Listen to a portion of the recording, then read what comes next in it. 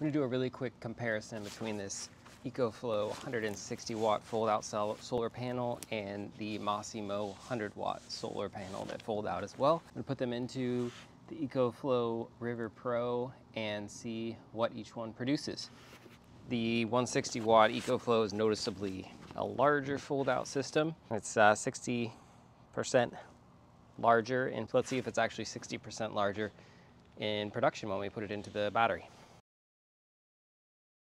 So this is like a very, very durable looking fold out panel.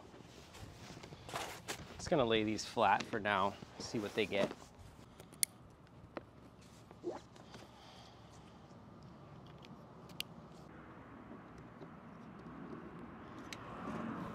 See, it's, it's kind of late in the day, so the sun is not full out. It's coming from over on the side. It's not like middle of the day, so we'll see what we get. And we're getting 52 watts. See if I tilt the panel what we get.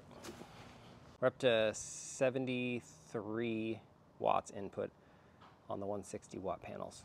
All right, the Massimo panels are much more kind of compact, but let's see what they produce in the same sun.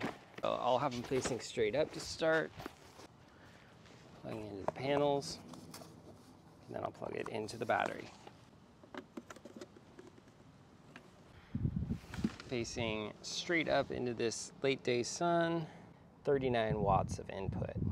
Now I'm gonna tilt the panels and see what we get.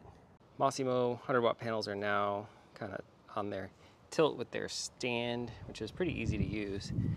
Now they are getting 57 watts, which this is pretty interesting because EcoFlow is much bigger system and it wasn't getting that much more than these 100 watt Massimo panels, but I'd be interested to test this out in midday sun.